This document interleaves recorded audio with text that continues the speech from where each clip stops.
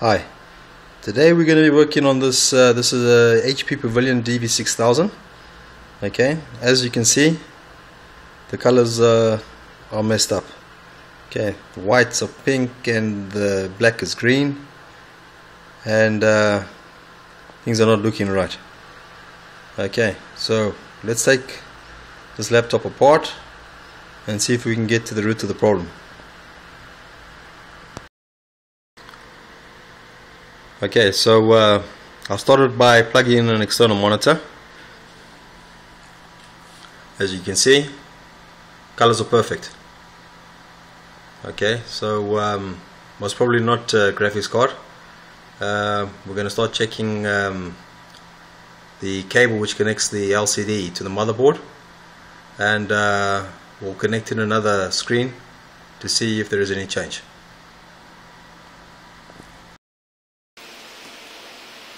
Okay, so um, so far I've had no luck with this machine. Um, uh, what have I tried so far? Uh, first thing that I did, I replaced the. I tried another LCD screen. Um, same issue. Uh, then I replaced the the ribbon which connects the screen to the motherboard. Uh, exactly the same problem. So uh, it's boiling down to um, a GPU problem. Um, these models of laptop, the Pavilion DV6000, are quite famous for overheating and uh, GPU damage. So uh, the next step is remove the motherboard. Let's try reflow the GPU and see if we have any luck.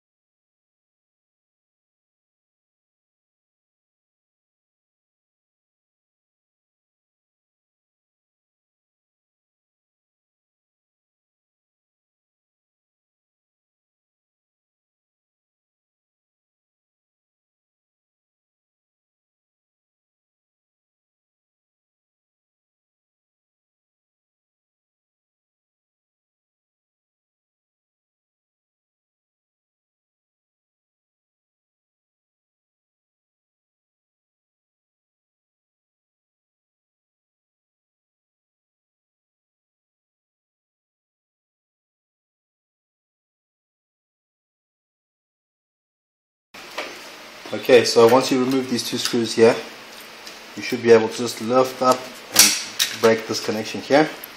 Okay, remove these other two screws here from this connector here on the expansion port.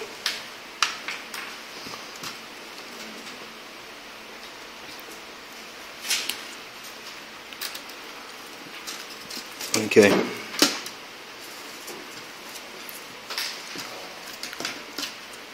Um, have there's a cable on the bottom of the motherboard to the power port, it just unplugs, and there is a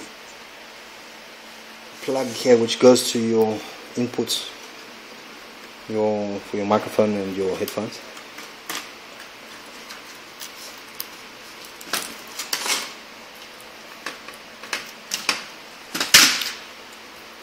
There we go. We have the motherboard in hand as you can see the cooler is full of dust. This is why it's overheated. Okay. You really need to clean out your coolers once a year before the summer. Make sure they don't overheat. Okay. So here we have the CPU and uh, the GPU the graphics processor unit sitting under here. Alright so we'll remove this and we'll reflow this chip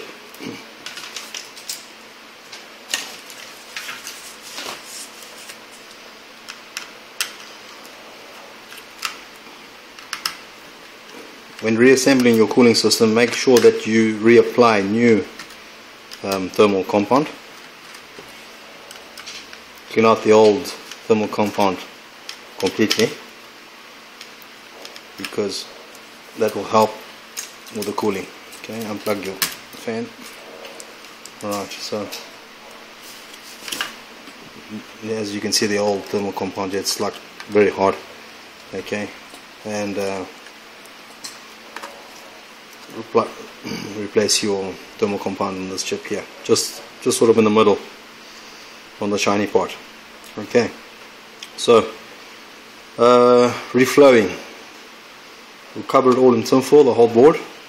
Just leave the that chip exposed. And um, we will slowly heat up the whole board and the surrounding area with the heat gun on low um, low heat for about a minute or so bring everything up to temperature. And then on full heat uh, we will just blast this chip for 20-25 seconds around just moving the heat gun slowly around the chip and try and re uh, reconnect all the solder balls that are underneath this chip. And then once we've done that put the heat gun back to uh, low heat and just sort of slowly let it cool down. Just over the area so that the motherboard does not cool down too quickly because we don't want the motherboard to flex and that'll just break the the connections again. Okay so let's start the reflow. Okay so Black & Decker uh, heat gun two settings. Um, let's start the reflow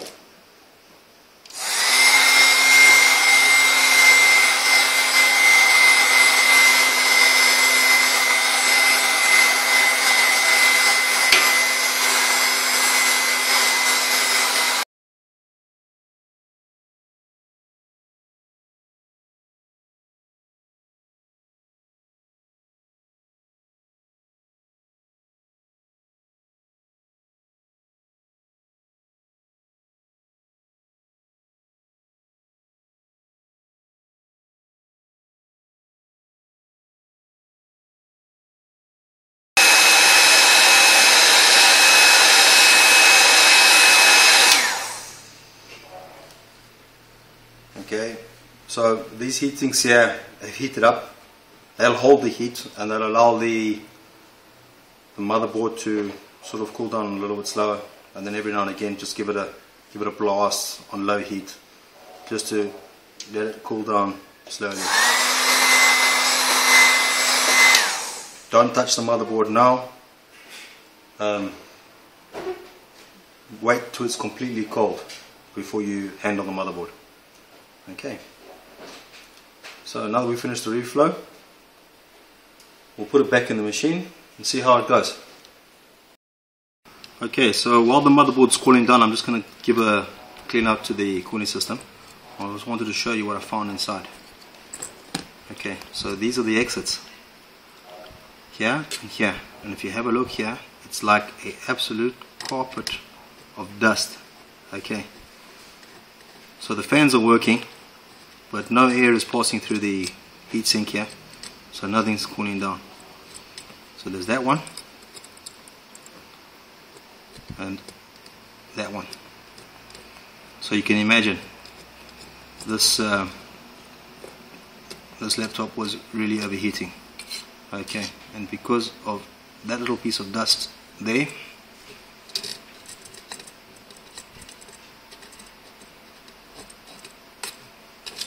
and that little piece of dust there. Because of that your whole laptop could uh, get uh, destroyed beyond repair.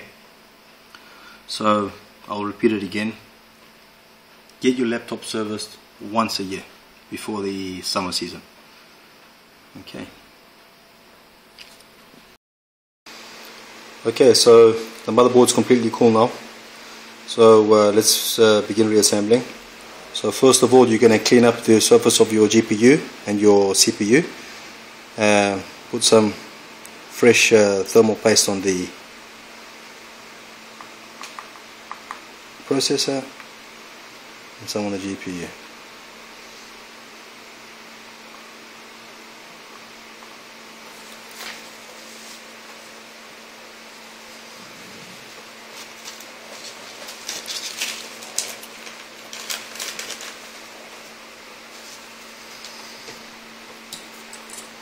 Okay, so we're going to replace the, the fan and the heat sinks.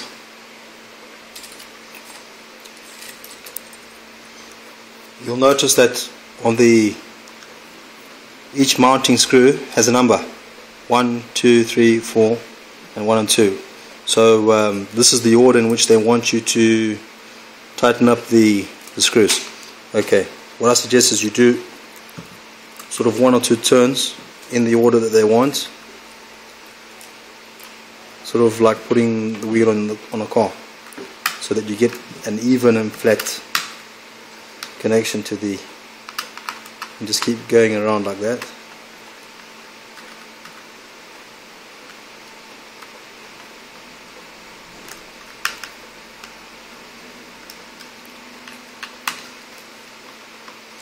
Okay don't forget to plug in your fan because that's on the bottom of the motherboard.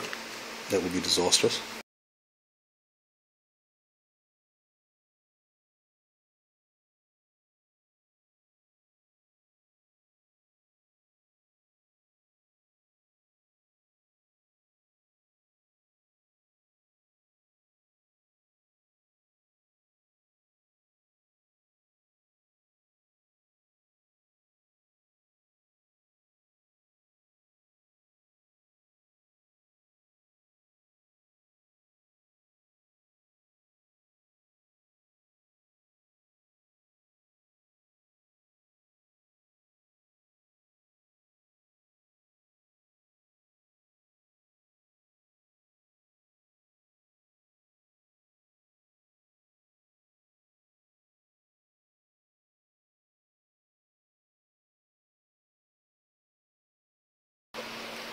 Okay, so um, before we put it all back together, okay, we've still got quite a lot of screws and stuff to go here. Uh, let's just uh, power it on and see if the reflow has made any difference.